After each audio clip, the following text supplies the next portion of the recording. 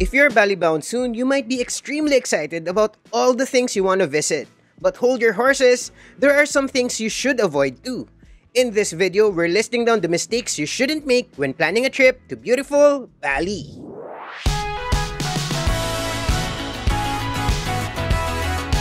Hey there, poor traveler, we are Vince and Josh. Before we begin, if you're not yet subscribed to this channel, hit the subscribe button now and ring the bell next to it so you're always in the know when we publish practical travel videos. If you're watching this on Facebook, we're on the road to 1 million followers so don't forget to like and follow this page too.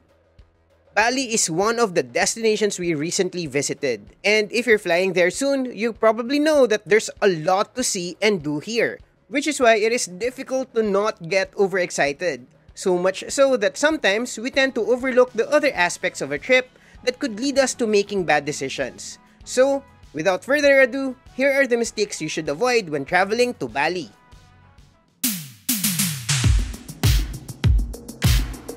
I made my first mistake even before I arrived in the island. For some reason, I assumed that Bali is just as small as Phuket or Santorini or Singapore. My friends, Bali is a hell of a lot bigger than those. It is huge. It is 8 times bigger than Singapore, 10 times bigger than Phuket, 64 times bigger than Santorini, and 500 plus times bigger than Boracay. Keep that in mind when building your itinerary. Don't schedule your activities immediately after another if they're in different parts of the island. Getting from, say, Kuta to Ubud does not take just a few minutes. It takes a couple of hours. And those faraway temples like Lempuyang or Ulundanu, much much longer. Depending on your itinerary and what you're in Bali for to begin with, you need to pick the most ideal area to stay so you won't waste too much time on the road. If you're staying in the Kuta or Seminyak area, there's another thing you shouldn't underestimate. Bali welcomes millions and millions of visitors per year. In fact, from January to October 2023 alone, it has recorded almost 4.4 million foreign tourist arrivals. And a great fraction of them chose to stay in this area, where you'll find Kuta and Seminyak. And most of them do not use the public transportation, which is not as reliable as one could hope.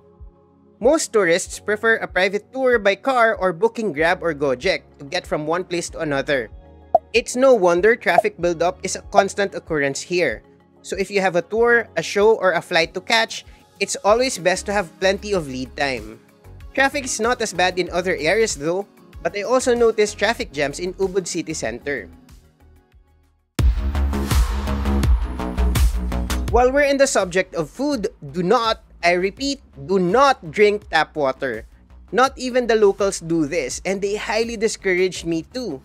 Most accommodations provide filtered water. If not, head to the grocery and buy those giant containers and just refill your reusable bottle every now and then. Why? Because tap water in Bali is gonna whoop your insides like it did mine. I never really believed in the term Bali Belly until it was happening to me. I spent an entire night in the toilet without ever coming out because every 15 minutes, something inside me was starting a revolution. So no, don't drink tap water, I beg you. And don't forget to bring anti-diarrhea meds too.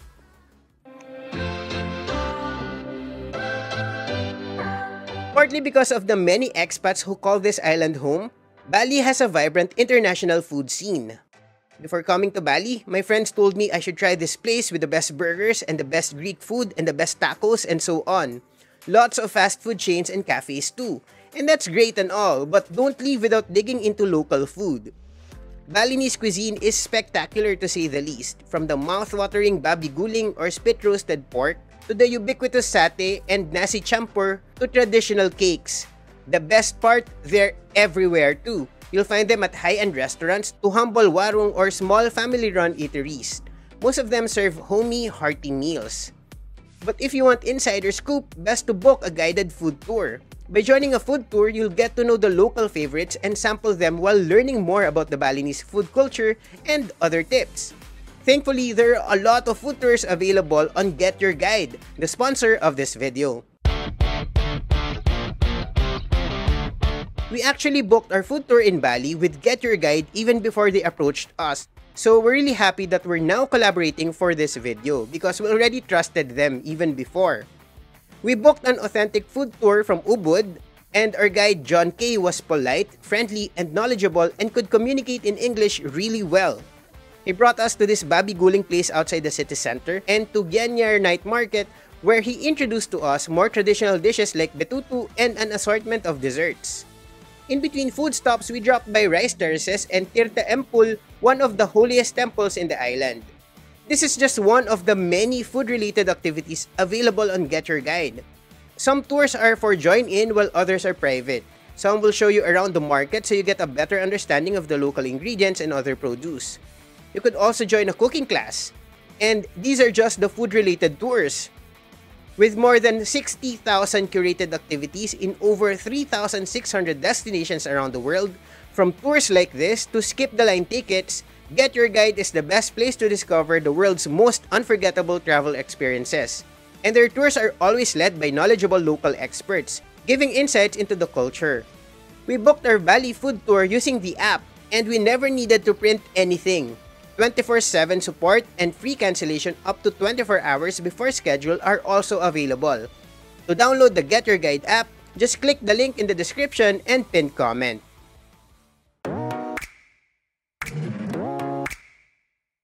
And by street ATMs, I mean those cash machines that you see in the streets, out in the open and can easily be tampered with. If you need to withdraw from an ATM, choose a machine that is inside a bank or other guarded or enclosed establishments, but the bank is your best bet, and you'll find a lot of various reputable banks throughout the island. If you must withdraw from a street ATM, always double check for signs of tampering. When in doubt, don't do it and just find another way to pay or get cash. Speaking of cash,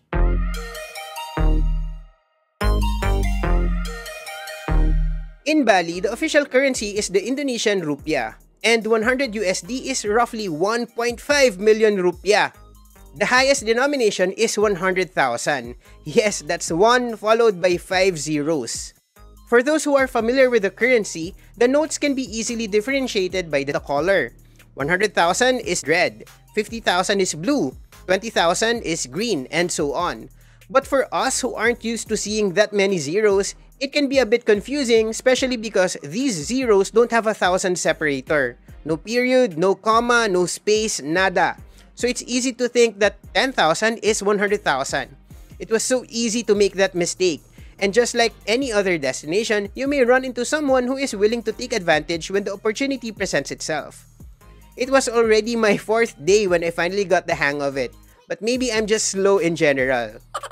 But thankfully, I never really had to pay cash that much. Most of my tours had been pre-booked and I usually paid by card when available. Fortunately, the supermarket in front of our hotel accepted credit cards. Bali is generally safe and has a relatively low crime rate, considering how busy and touristy it is. But like many other tourist hotspots, petty crimes do exist in Bali, especially within developed areas like Kuta. So, don't hold your phone, purse, or wallet out in the open when walking or standing by the road because someone on a motorbike might just snatch it away. Keep it away from other people's reach and don't leave them unattended on the beach or use them to reserve a table at a food court. Overpricing taxis are rampant in Bali. In fact, we have been told by the locals to not hail a cab, but use Grab or Gojek instead. And if we must, only use Bluebird, said to be the only reputable taxi company on the island. If coming from the airport, you may also pre-arrange a pickup service online. If you prefer traveling by motorbike, beware of scams too. I don't ride motorcycles abroad, so this isn't something I'm concerned about. But I had been warned about rental shops that would charge you for pre-existing damages on the bike. Police scams are said to be prevalent too, they say that some officers would just stop motorbike drivers for whatever reason they could think of just so you could pay them to let you go. But if you insist on renting a motorbike, make sure you have the proper driving license and always wear a helmet.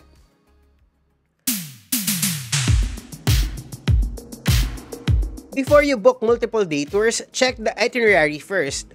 Most tours in Bali have similar attractions, Usually, there's a stop at Tegalalang Rice Terraces and Instagrammable spots with a giant swing and the like. So if you're booking more than one private tour, Ask your contact or guide if you could replace some of these stops to avoid a repetitive journey and you could experience more of Bali. We've done it before and every guide obliged because it's not difficult to find another point of interest along the route.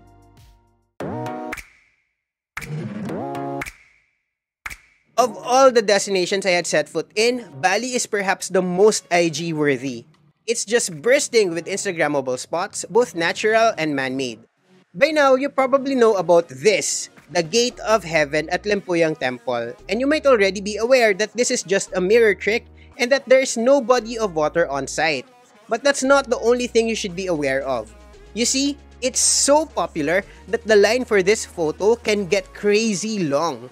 We're talking about up to 3 hours of waiting time here, just for a minute of photo session. On our last trip, we arrived in the afternoon in time for the sunset, and we waited 2.5 hours. They say that to avoid waiting times, go in the early morning. My teammate Paikan did just that in time for sunrise. They were second in line. But even if your timing is right, don't expect everything to be picture perfect. Most photos you see were either taken under the best conditions or enhanced digitally. Often, the skies don't cooperate. It's more likely that you'll get a plain white backdrop because the mountain is hiding behind the clouds or fog. A lookalike can be found in the north. This is Handara Gate, which also has the same effect. It's not as popular as the Gate of Heaven, but you could still wait for 40 minutes to an hour for your turn. Even here at Tirta Gangga, the lines can get crazy long, especially at this spot. I personally don't mind the waiting times because I know how to keep myself busy. I usually spend the time chatting with our guide and other locals. But if you're not really into IG-worthy spots and you want to maximize your stay, you might just be wasting a lot of time queuing. There are other picturesque but less crowded attractions elsewhere in the island, but if you really want these shots, sure, go ahead. You're already in Bali, might as well experience the full package, queues and all.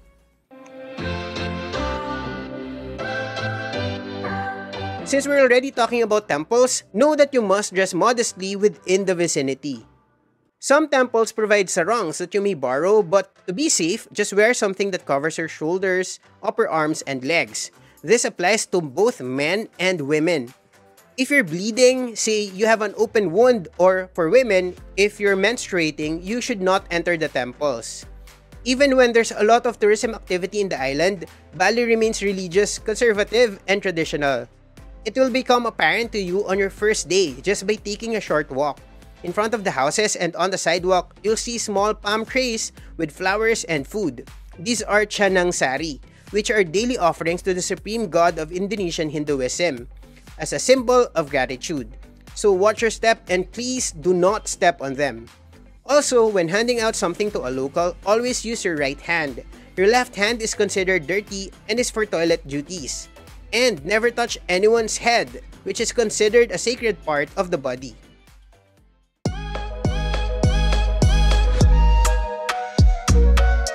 Mosquitoes are common in Bali, so it's best to be prepared.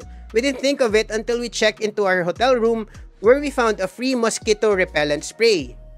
And we realized, hmm, of course, some places and some months are more prone than others, but to be on the safe side, just bring one with you when touring.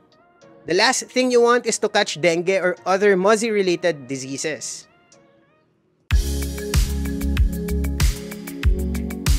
When we think of Bali, we immediately conjure up images of its beaches. Growing up, I thought of Bali as a beach paradise. But when I was there, I realized that Bali's biggest assets are not its sandy shores, but its well-preserved culture and inland natural attractions. I was much more awed by its temples and waterfalls and cuisine than by its beaches. Don't get me wrong, the beaches here are not bad, not at all. But just to manage your expectations, if you've been to other beaches in Indonesia and you're expecting Bali to give you the same sparkling beachscape, then you'll be underwhelmed. That's not to say that you shouldn't come to Bali at all, because you definitely should. You must. But there's so much more to Bali than its shores.